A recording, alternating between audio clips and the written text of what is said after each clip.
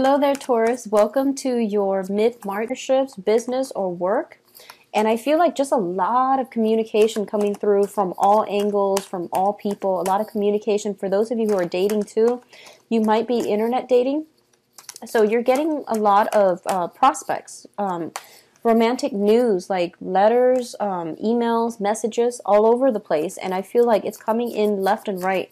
So um, for those of you who are dating, and if you haven't been dating, you know, like in the past, and you've been away from it for, for quite some time, I feel like it's very exciting for you. And um, take it slow because, you know, if you haven't been dating for quite some time, take it very, very slowly. And I feel like amongst all the people that are contacting you, you are going to find a gem of a partner. Okay, so that's the the words are a gem of a partner, which is sounds really magical. It sounds really good.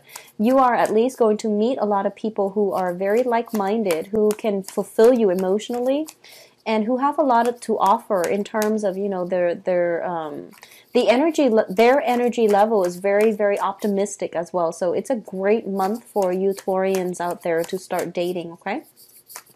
Um, I also feel there's a lot of attraction with other people, or other people are like flocking to you and there's also like um, a lot of um, opportunities for you to be intimate with a lot of people. So if you're dating, you know, just casually dating, um, be careful about that energy because you you don't want to scatter yourself and you want to find that hidden gem. Okay, you want to find that gem of a person. They're coming in, so that's why you want to be a little bit more selective about. Um, who you devote your time to. That's just overall advice. If you just are not looking for a long term stable relationship, then go ahead and you know date whoever. But I feel like if you are looking for the one, just um, be careful about getting intimate with strangers too early. Okay. So let's see what we have for you in terms of the cards.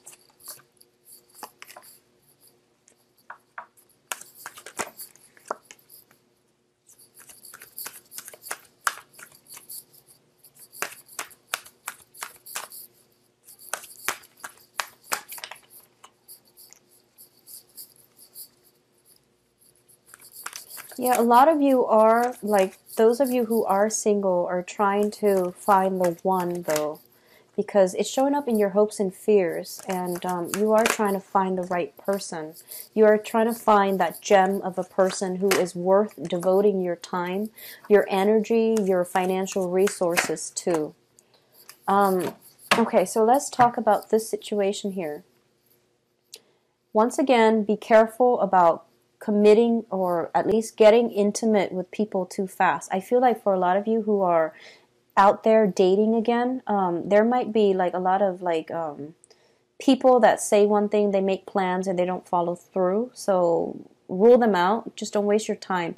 And I feel like you're, um, especially, I feel like if you haven't been dating for quite some time, there might be like people that send out messages and they're like, "Oh, meet me here and here," and then you feel like it's going to pan out, it's going to be beautiful, and it's going to be, you know, the the ideal situation, the love of your life, and they just renege on their plans. So just be careful about, you know, first of all, sleeping with them too soon, uh, getting intimate too soon, pouring out your heart too soon for those of you who have recently re-entered the dating scene because I feel like what you see is not what you get. So just be careful about that. But I feel that amongst them, there will be somebody that is um, on your level that's looking for the same thing that are going to cross your path. Okay, so don't give up. Just be careful.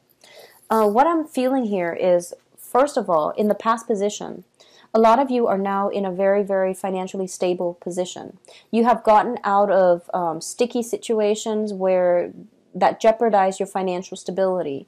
You're clinging on to it, and a lot of you are very, very cautious as well about your spending. Okay, which is good, and it's always like um, the the spending situation always comes up with Taurus because you um, you are very like security focused, which is a good thing. Okay. So a lot of you have basically regained your power. You're holding on to your financial resources. You're being cautious about spending and you're trying to save up for that nest egg for your future. So as a result of it, I can't help but feel like you're looking for the one. a lot of you who are single or who have recently, you know, left a situation, you're kind of like at a point where you feel like I'm ready to find the one. I'm ready to give my heart to the one. But you want to be careful about this as well. And as a result of it, you have recently, you know, reached out to other people. Your social circle is expanding. There's new projects in the works for you. Your financial situation is looking very, very good for this month.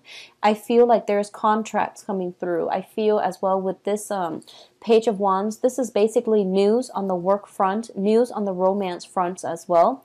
People that want to, that are attracted to you, that want to meet you, that want to um, take you out. Okay, so there's a lot of communication coming through, and I feel like it's very love focused. What's uh, crossing you here is the World card, and um, I feel like with the World card, there is a little bit of anxiety when it comes to branching out and stepping out of our comfort zone and um, basically popping that bubble that we've been insulating ourselves in for so long. There might be self image issues. There might be just um, a lot of you are trying to I feel like revamp your style, revamp your wardrobe. If that's something that you're doing, it looks to me to be very positive. Whatever you need to do to, to build up your self esteem, it's always a good thing, but just don't go overboard. At the same time, I feel like um, there are so many opportunities. The world indicates expansion, okay? So I feel like there are a lot of opportunities on the dating front overall. Your foundation here is the Three of Wands, and the Three of Wands indicates a situation when we, where we are waiting for a person.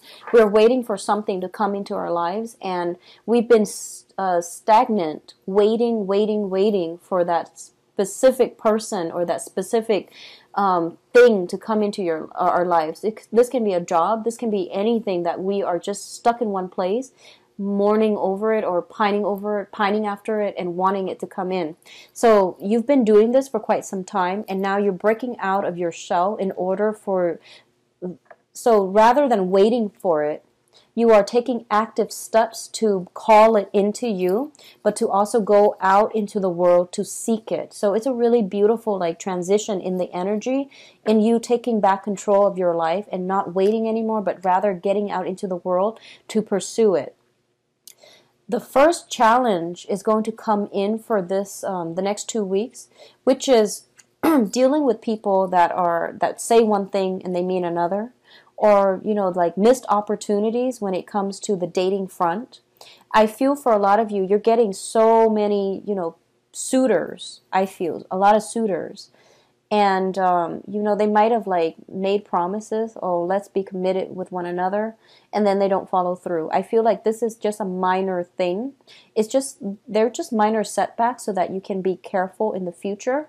And i feel like especially when it comes to people younger people who are dating they have multiple um, you know irons in the fire. So i you feel as if you might have been the only one but they they're like um, um, hedging their bets by dating other people.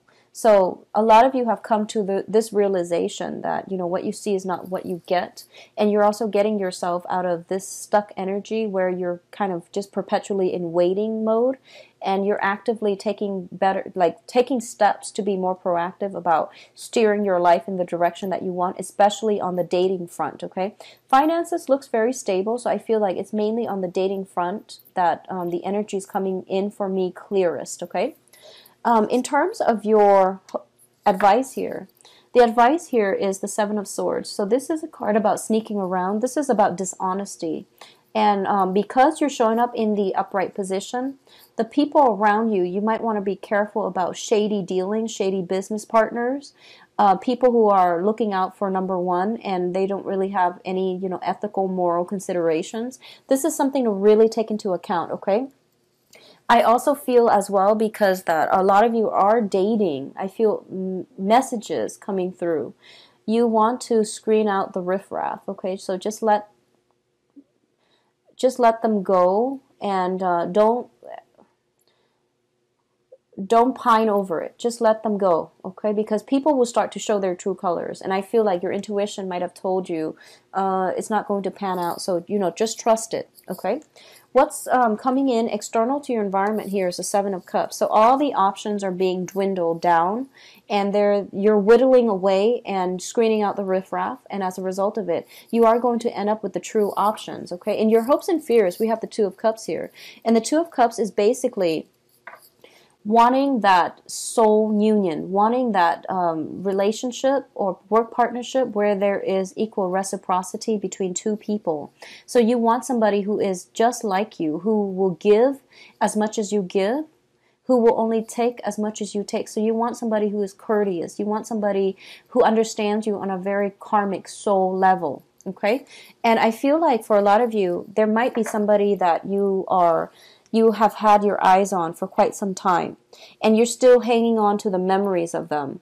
You might not have had a relationship together, but there's somebody that you really like and you've been waiting for quite some time hoping that they will come in and in the process of waiting you're it's it's it's painful, you know, like waiting for a situation that you know is fated but the other person might not have that um, knowledge just yet. So you've been waiting, and then you're realizing that I'm not going to put my life on hold. I'm going to get out there and restart my life. And in the process of getting out there, you're encountering people who are not operating at their best. And a lot of you, it might make you revert back to that previous memory of that other person. But the advice here is hang in there. The right person will be there for you, and they will come along in your new social environment. So it's not time really to go back to the old. It's more about moving on, okay?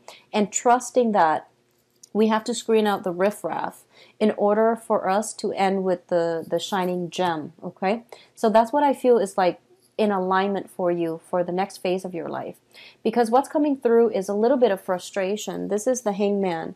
This is being stepping out of our comfort zone, being in an uncomfortable situation, and learning to juggle, learning to manage it, learning to navigate it.